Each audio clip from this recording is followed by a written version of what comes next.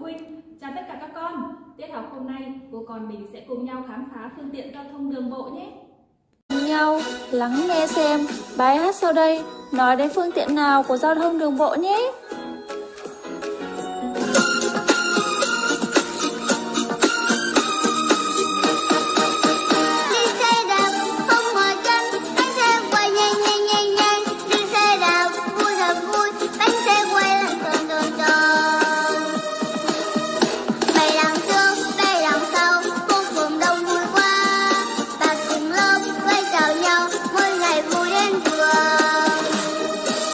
Lên màn hình xem đây là gì?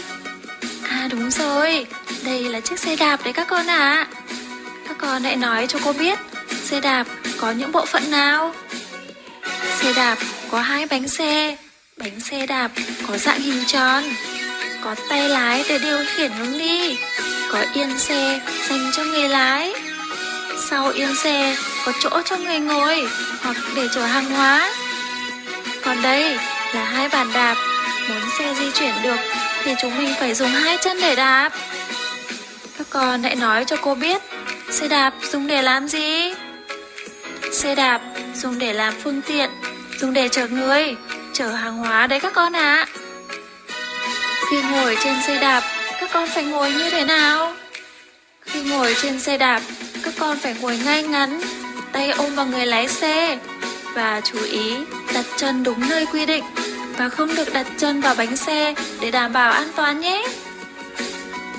Tiếp theo đây là cái gì? À đúng rồi, đây là xe máy đấy các con ạ. Các con hãy nói cho cô biết xe máy có những bộ phận nào?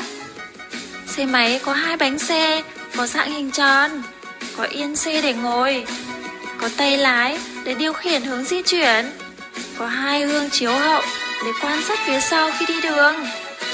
Xe máy chạy bằng động cơ. Động cơ của xe máy muốn hoạt động được cần có nhiên liệu. Cô còn rất nhiều các hình ảnh, các loại ô tô và các phương tiện giao thông đường bộ khác như ô tô khách, ô tô tải, xe xích lô, xe mô tô ba bánh, xe cần cẩu, xe cứu thương. Đấy các con ạ. Cô thấy các con học rất là giỏi. Bây giờ cô và chúng mình cùng nhau chơi một trò chơi nhé. Trò chơi có tên là Thi xem ai nhanh. Câu hỏi số 1. Phương tiện giao thông nào dùng hai chân để đạp khi di chuyển? Đáp án 1. Xe đạp. Đáp án 2. Xe máy. 5 giây suy nghĩ. Bắt đầu. Hết giờ. Đáp án đúng là đáp án số 1. Xe đạp là phương tiện dùng hai chân để đạp khi di chuyển đấy các con ạ. à.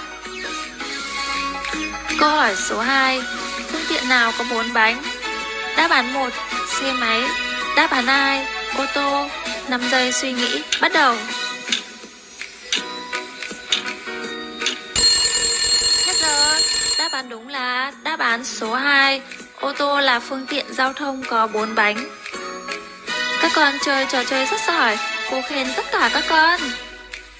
Vậy là giờ học ngày hôm nay, cô và các con đã cùng nhau tìm hiểu về một số loại phương tiện giao thông đường bộ.